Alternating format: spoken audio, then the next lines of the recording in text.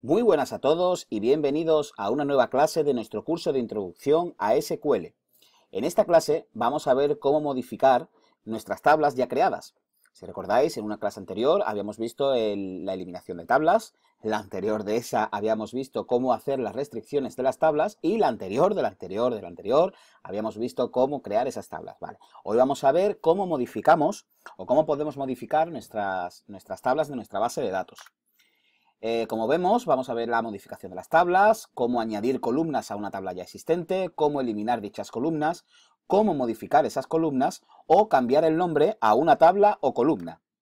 Para modificar las tablas, o mejor dicho, cuando hablamos de modificar una tabla, nos referimos a cambiar la estructura de esta, nunca los datos, siempre hablamos de la estructura de la tabla. Es decir, podremos añadir, suprimir o modificar columnas, añadir, suprimir o modificar restricciones o cambiar el nombre de la tabla. La orden que utilizamos es alter table, nombre tabla. Ya veremos que alter table, según lo que queramos hacer, lo combinaremos con una palabra o con otra para poder realizar las acciones que queramos. Para añadir columnas, pues para añadirlas necesitamos usar la sentencia alter table, nombre tabla, add, y ahora pondremos entre paréntesis el nombre de la columna, el tipo de dato y las restricciones. Las restricciones siempre que queramos ponerlas. Si queremos poner una columna sin restricciones, no hay ningún tipo de problema. Por ejemplo, supongamos que tenemos la tabla libros, que fue la que creamos en la, en la clase de la creación de tablas, que tenía los campos ISBN, autor, editorial. Y ahora queremos añadirle el campo, uno de los campos más importantes de esa tabla, que no la teníamos ahora mismo registrado, que es el campo nombre. Es decir, si tengo una base de datos de libros, necesitaré saber en esa tabla el nombre de cada libro. O sea, no tiene sentido que quiera recoger el ISBN, el autor y la editorial si no voy a poder consultar el nombre. Entonces, ¿cómo añadiríamos esa columna? Pues alter table, libros, add, y abriríamos paréntesis y pondríamos nombre, varchar 2, entre paréntesis la extensión, not null. Es decir, estamos diciéndole que vamos a añadir una columna de nombre nombre, valga la redundancia, de tipo varchar2, que va a tener una extensión de 30 caracteres y que además tiene que cumplir la restricción de no admitir campos nulos. Con esta, eh, con esta restricción en especial debemos tener cuidado, ya que si la tabla tenía datos previamente nos va a dar un error. Y eso tiene sentido, imaginarse que, que yo empiezo, tengo a lo mejor metidos en mi tabla de libros 25 libros y ahora me da por añadir la columna nombre. Pero es que además le estoy diciendo que no puede ser nula. ¿Qué pasa? Que cuando Oracle detecta que hemos dicho, vas a meter una nueva columna que sea nombre y que además tiene que ser not null, te dice, oye, que ya tienes 25 libros creados, ¿cómo me vas a decir ahora que eso no puede ser nulo? Entonces nos da un error. ¿Qué sería lo lógico? Pues lo lógico sería, creamos primero la, eh, la columna nombre, sin añadirle la, la restricción, y automáticamente después, cuando hayamos rellenado todos los nombres de todos los libros que ya tengamos, entonces le añadimos esa restricción de not null, es decir, a partir de ahí ya sí va a poder ser not null. Perfecto. Como vemos en esto de añadir columnas, si deseamos poner varias restricciones, se pone enseguida si sin coma. Es decir, imaginarse que yo quiero poner, por ejemplo, eso de not null y un valor por defecto. Bueno, pues ponemos not null y el valor por defecto uno detrás de otro, con su sentencia completa, sin poner comas. ¿Cuándo se pone la coma? Cuando queremos añadir más de una nueva columna. Es decir, a lo mejor queremos aprovechar en la misma sentencia para añadir, pues no sé, cuatro columnas nuevas, como por ejemplo es el ejemplo que tenéis en la pantalla, ¿no? Hemos puesto alter table, libros, add, y ahora hemos puesto nombre varchar 2, entre paréntesis 30, not null, que esa es la restricción de nombre. Le hemos añadido otra columna que es idioma de tipo varchar con una extensión de 12. Hemos metido un campo extra número 1 que es de tipo number con una extensión de 3 y hemos metido otro campo extra número 2 con un tipo de datos number y de extensión 5. Perfecto. Eliminar columnas. Pues para eliminar una columna existen existente, perdón, utilizaremos la sentencia alter table, nombre de la tabla, drop, y ahora pondríamos entre paréntesis nombre columna, en las que quisiéramos, ¿no? Podríamos separar entre comas el nombre de la columna 1, de la columna 2, etcétera, etcétera. Las únicas limitaciones serán que esa columna sea clave primaria y actúe como clave ajena en otra tabla. Es decir, cuando veíamos en la clase anterior, en el, en el borrado de tablas, eh, que teníamos la tabla empleados y la tabla encargados, si recordáis, teníamos el campo DNI, que era la clave primaria de empleados, pero a su vez ese campo actuaba como clave ajena en la tabla de, encargados.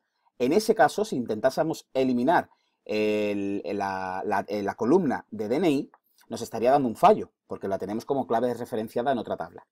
En el caso de que, podamos, eh, podamos, hacer esa, eliminación, pues ya veis, alter table, libros, drop y entre paréntesis el campo, ¿no? Hemos puesto campo extra 1. Para modificar columnas, pues para modificar una columna ya existente usaremos la sentencia alter table, nombre tabla, modify y pondremos entre paréntesis el nombre de la, nueva, de la columna perdón, y el nuevo tipo de dato. Para, eh, cuando decimos una modificación entendemos que vamos a aumentar o disminuir la longitud de una columna o bien cambiar el tipo de dato. Debemos tener en cuenta dos factores, si está vacía o contiene datos y si el campo que queremos modificar es clave primaria y actúa como ajena en otra. Como veis, esto de la clave primaria y que actúa como ajena en otra siempre nos va a dar pues, pequeños dolores de cabeza. Siempre es bueno tener muy claro cuáles son los campos que actúan como clave primaria en una tabla y a su vez están propagadas, es decir, están actuando como clave ajena en otra tabla.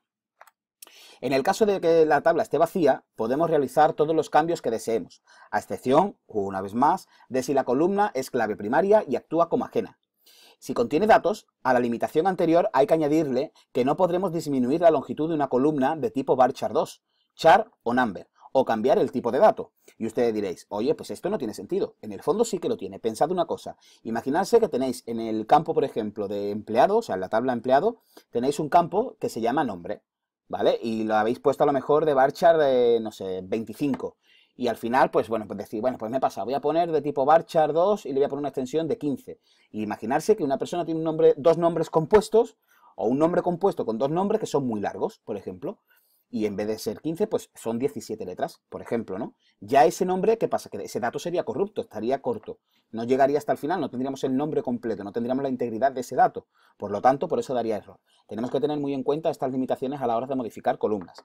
En el caso de que queramos modificarlo, porque podamos hacerlo, pues como veis abajo la orden, alter table, libros, modify, campo extra 2 y le he cambiado el tipo a varchar 2 de extensión, de, de extensión 5. Vale, ¿Cuál es el siguiente paso que podemos hacer? Cambiar nombre a una tabla o a una columna.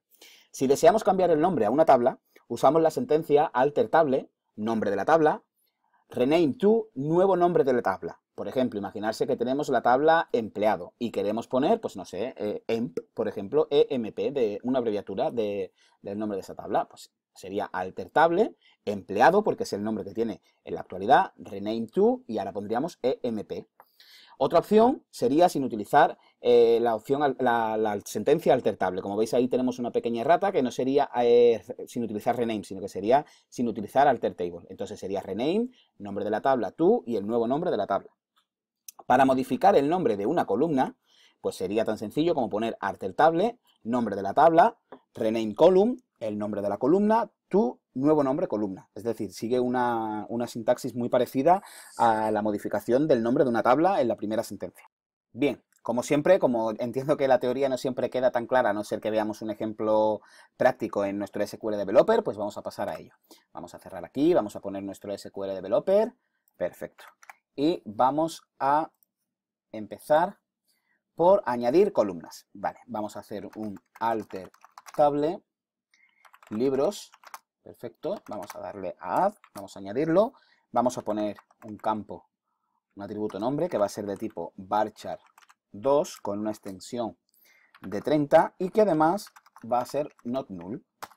Perfecto, vamos a añadir también idioma que va a ser de tipo varchar 2 con una extensión de 12. Perfecto, vamos a añadir también campo extra 1 de tipo number con una extensión de 3 y vamos a añadir también campo extra 2 de tipo number con una extensión de 5. Perfecto. Vamos a cerrar también ahí el paréntesis y vamos a poner el punto y coma. Vale, vamos a ejecutar la sentencia. Perfecto. Me dice que table libros alterado. De hecho, si yo ahora me meto aquí en esta tabla, como veis, aquí está. Me sale ya los nuevos, ¿no? Estos eran los tres que tenía anteriormente y ahora vemos que tiene nombre, idioma, campo extra 1 y campo extra 2. Perfecto. Cerramos libros, vamos a minimizar aquí. Perfecto.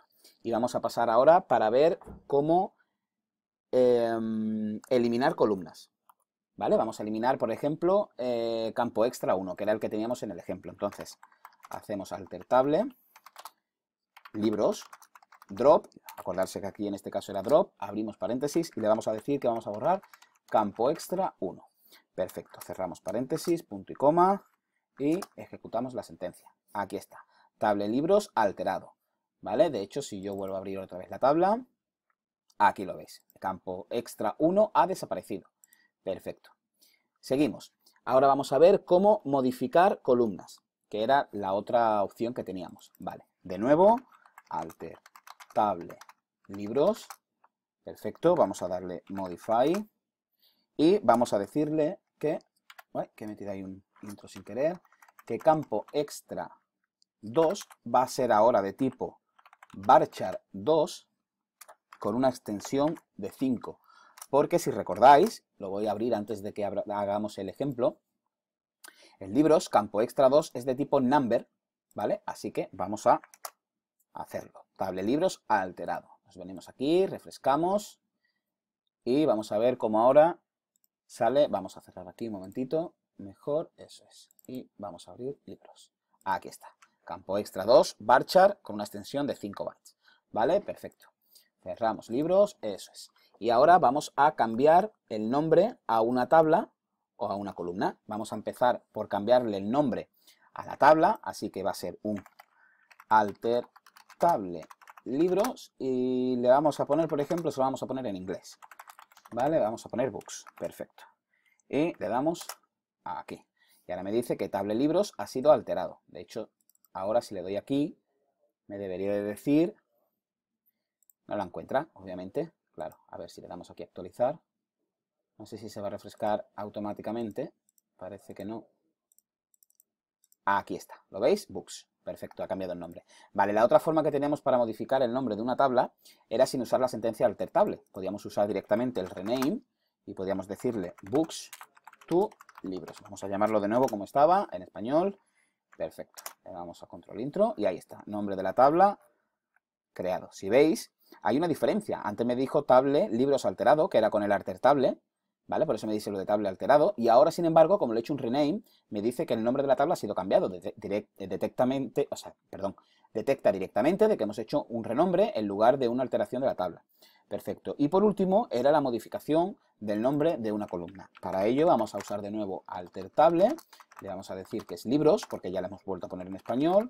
Le hacemos un rename.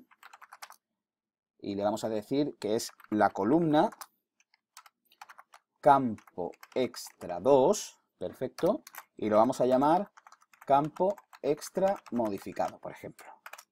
Y ahí está, le vamos a dar a control intro y ahí está, tabla libros alterado. Vale, vamos a ver, vamos a cerrar aquí, vamos a actualizar libros y aquí está, si lo veis, campo extra modificado y es de tipo varchar 2. Le hemos hecho dos modificaciones, le hemos puesto que era de varchar, que antes estaba de number y además le hemos dicho que el nombre ahora era campo extra modificado. Pues nada, con esto hemos llegado al final del capítulo, o de esta clase, mejor dicho. Nos vemos en la siguiente. Un saludo.